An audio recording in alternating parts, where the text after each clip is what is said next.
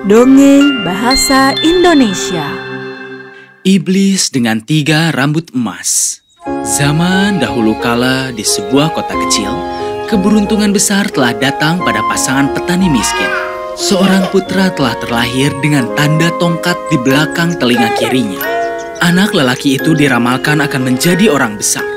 Dia akan membawa kebaikan dan juga keberuntungan, tidak hanya kepada orang tuanya, tetapi juga ke seluruh kota. Dan juga dipercaya bahwa segera setelah ia cukup dewasa, ia akan menikah dengan putri raja. Mereka ditakdirkan untuk bersama. Pasangan itu sangat bahagia. Ketika sang raja mengetahui tentang anak itu, dia sangat marah. Bagaimana bisa seorang putra petani menikahi putrinya, seorang putri? Dia menyamar sebagai tuan tanah kaya dan pergi ke rumah petani. Berbohong tentang tidak punya anak, ia menawarkan dua karung emas kepada orang tua sebagai imbalan untuk anak tunggal mereka. Pasangan itu berpikir sejenak. Mereka dengan rendah hati menolak emas tetapi setuju untuk menyerahkan anak laki-laki mereka. Mereka tahu bahwa mereka sangat miskin untuk memberikan anak mereka apa yang pantas diterimanya. Raja membawa anak itu dan menyimpannya dalam kereta yang tanpa pengawasan dan meninggalkan kota. Dia ingin menjauhkan anak itu dari putrinya. Malam itu sedang badai. Raja berpikir bahwa dia telah mengubah takdir. Tapi itu tidak terjadi. Beberapa saat setelah raja pergi, anak itu ditemukan oleh seorang pria yang rendah hati. Dia dan istrinya tidak punya anak. Mereka menamai anak itu Leo dan memutuskan untuk membesarkannya sebagai anak mereka. Tahun-tahun berlalu dan Leo tumbuh menjadi anak muda yang cerdas. Suatu ketika, dia melintasi hutan. Permisi, Tuan. Apa kau tahu jalan ke kota Hogs? Oh, itu mudah. Ambil kiri dari pohon aneh di sana, dan kemudian... Tidak. Bagaimana ini bisa terjadi? Aku sudah menyingkirkannya. Begitu dia cukup dewasa, dia akan menikah dengan putri raja. Tidak, aku tidak akan pernah membiarkan dia menikahi putriku. Aku harus apa sekarang? Tunggu, aku punya ide. Dengarkan, nak. Aku punya pesan kerajaan yang sangat mendesak untuk dikirim ke ratu di istana. Maukah kau membantuku? Ini sangat-sangat penting. Juga jangan buka surat ini. Oh, aku mengerti yang mulia. Aku tidak akan membuka amplopnya. Aku akan segera pergi sekarang. Oh, baiklah kalau begitu. Semakin cepat kau sampai, semakin cepat kau akan memenuhi takdirmu. Leo memulai perjalanannya, sama sekali tidak menyadari bahwa pencariannya baru saja dimulai. Dia berkuda selama berjam-jam. Istana hanya berjarak beberapa menit lagi sekarang. Tapi tiba-tiba seekor ular muncul di depan kuda itu. Billy, tetap tenang. Ke mana kau membawaku? Billy, berhenti. Pada saat kuda berhenti, Leo sudah jauh di dalam hutan. Jauh dari kastil. Untungnya, dia menemukan sebuah rumah kecil. Dia turun dari kudanya dan mengetuk pintu kayu itu. Halo, namaku Leo. Aku akan pergi ke istana untuk mengirim pesan penting, tetapi tersesat dalam perjalananku. Bisakah aku menginap di sini untuk malam ini? Hmm. Ini rumah yang indah. Terima kasih sudah membiarkanku tinggal. Kau sepertinya tidak tahu siapa aku. Oh, aku tahu. Kau adalah si jahe. Orang-orang di kota sangat takut padamu. Mereka bilang kau merampok rumah. Lucu karena mereka sepertinya tidak tahu rumah mana yang benar-benar kau rampok. Itu karena bukan aku. Eh. Baiklah, Tidak peduli apa yang aku katakan, orang tidak akan pernah percaya padaku. Mungkin caraku melihat itu yang membuat mereka takut. Tapi mengapa kau tidak takut padaku? Ya, aku menyukai orang-orang, tetapi aku tidak mendengarkan semua yang mereka katakan. Mereka mengatakan hal-hal tentang orang lain yang bahkan mereka tidak kenal. Maksudku, kau membiarkan orang asing tinggal di rumahmu untuk satu malam, ya kan? Aku pikir itu murah hati. Si jahe terkejut. Selama bertahun-tahun, tidak ada yang pernah bersikap baik kepadanya. Leo makan beberapa makanan dan langsung tidur. Si jahe merasa aneh karena seorang warga biasa diminta untuk menyampaikan pesan kerajaan. Dia melihat amplop di jaket Leo. Dia penasaran, memutuskan untuk membukanya. Pembawa surat ini harus segera dilemparkan ke penjara bawah tanah seumur hidup. Mengapa raja meminta sesuatu seperti itu? Raja memiliki hati yang busuk. Leo tidak pantas menerimanya. Si jahe merobek surat itu. Dia menulis pesan baru di atas kertas baru. Meletakkannya di amplop kerajaan dan meletakkan kembali di tempatnya. Keesokan harinya, ketika Leo mencapai istana dengan surat itu, Siapa pun yang membawa surat ini, dia harus segera menikah dengan putri. Tolong panggilkan Putri Bella.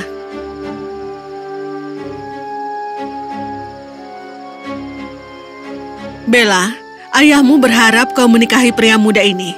Apa kau setuju?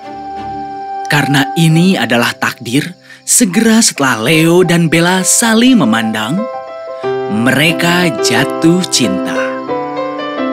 Aku ingin menikah dengannya, Ibu. Sang ratu sangat senang. Pernikahan berlangsung pada hari yang sama. Leo dan Bella sangat bahagia. Tapi tidak untuk waktu yang lama. Ketika raja kembali, dia sangat marah mengetahui apa yang telah terjadi. Tapi sudah terlambat. Leo adalah seorang pangeran sekarang. Raja tidak mungkin mengurung menantunya di ruang bawah tanah. Dia memikirkan rencana lain. Oh, hatiku hancur. Aku tahu seharusnya aku memberitahumu ini sebelumnya, tapi putri dikutuk untuk mati pada hari ketujuh pernikahannya. Hanya, hanya satu hal yang bisa menyelamatkannya. Tiga rambut emas milik iblis. Aku tidak bisa memaksamu pergi. Aku akan pergi. Aku tidak akan membiarkan apa pun terjadi pada istriku.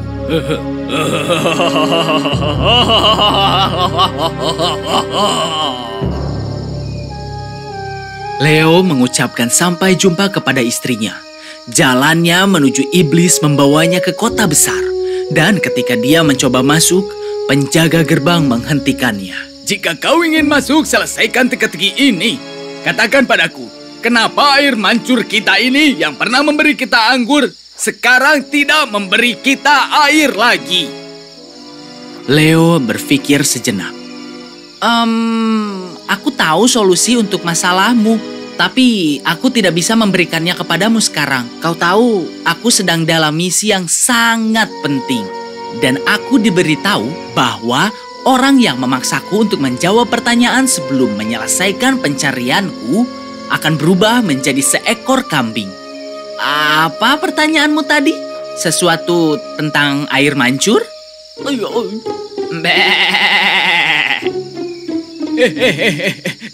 Kenapa terburu-buru? Mengapa kau tidak memberikanku jawaban dalam perjalananmu pulang? Oh, kau memang baik sekali. Terima kasih, Tuan. Leo melanjutkan perjalanan dan datang ke kota lain. Penjaga gerbang bertanya, Katakan padaku, mengapa pohon yang dulunya memiliki apel emas sekarang hanya memiliki daun?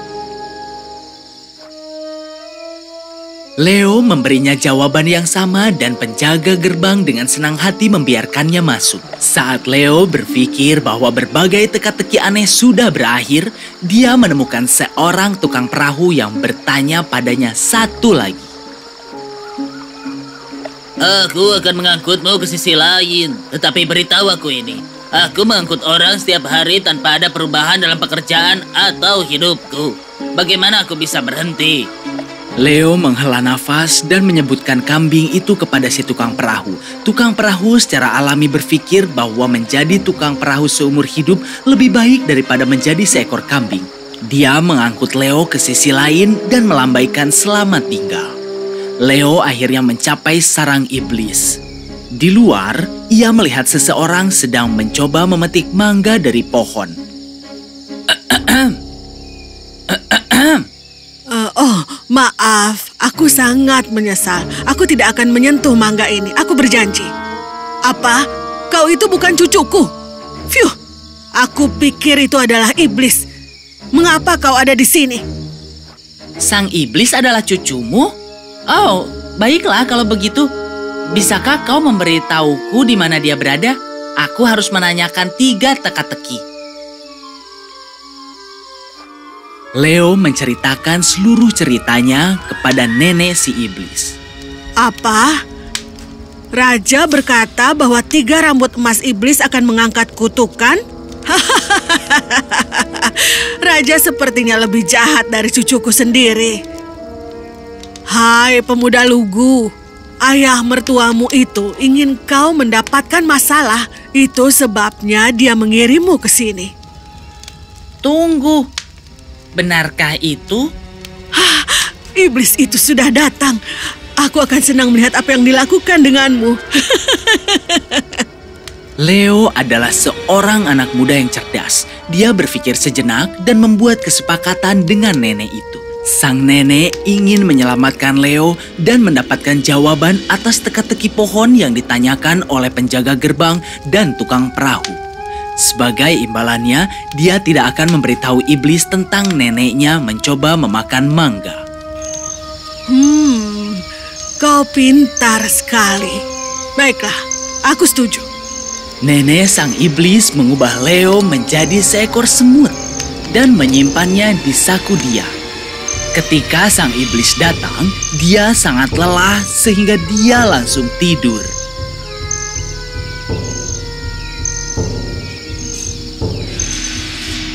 Ah, nenek, apa yang kau lakukan? Oh, sungguh mimpi yang sangat mengerikan yang pernah kumiliki. Aku bermimpi bahwa ada air mancur yang mengeluarkan anggur, tapi sekarang tidak ada apa-apa, bahkan setetes air. Itu karena ada katak besar yang hidup di bawah air mancur. Seseorang harus menyingkirkannya.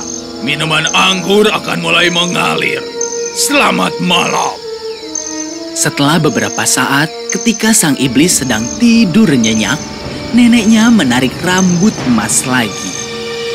Ah, apa lagi sekarang? Oh, ah, ada yang lainnya. Ada pohon yang indah ini yang menghasilkan apel emas.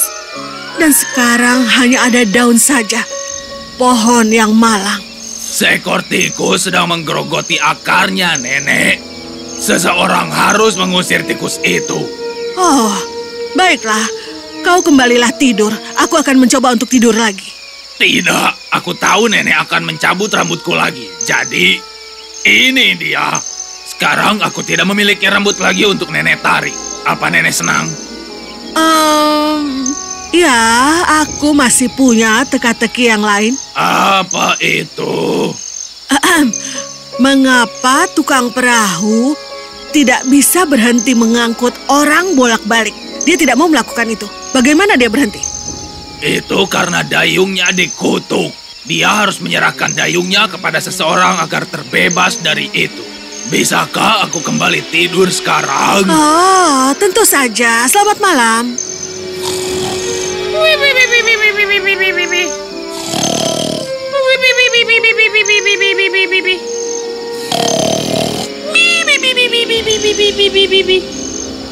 Sang nenek kemudian mengubah Leo kembali ke bentuk manusia dan menyerahkan tiga rambut emas kepadanya.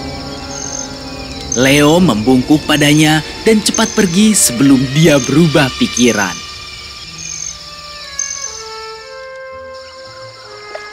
Apa kau punya jawabannya?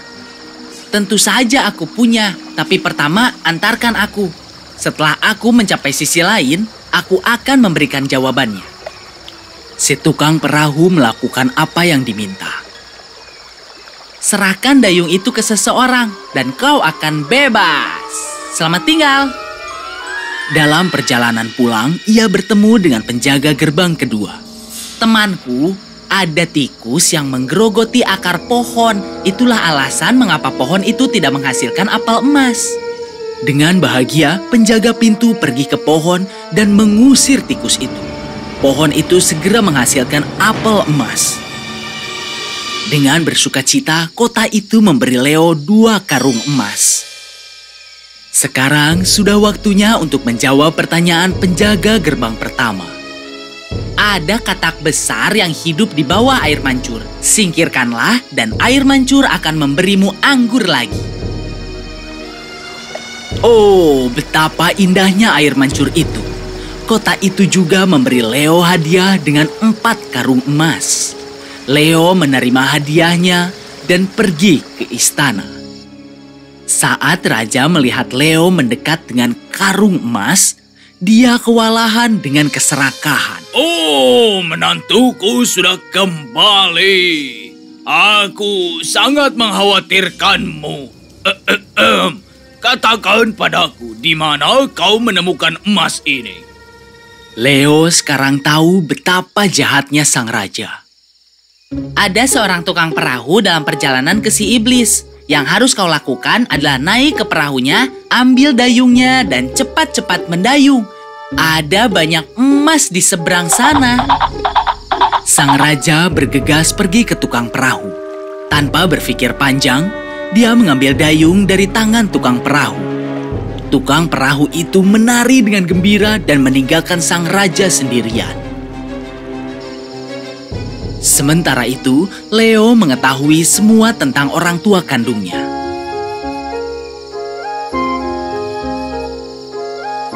Pasangan petani dan juga pasangan yang merawat Leo diundang ke istana. Ramalan itu menjadi kenyataan. Leo membawa kebaikan dan keberuntungan ke seluruh kota. Dan untuk raja yang rakus, diyakini bahwa dia masih terus bolak-balik sendirian. Karena tidak ada yang pernah mau mengambil dayung dari dia.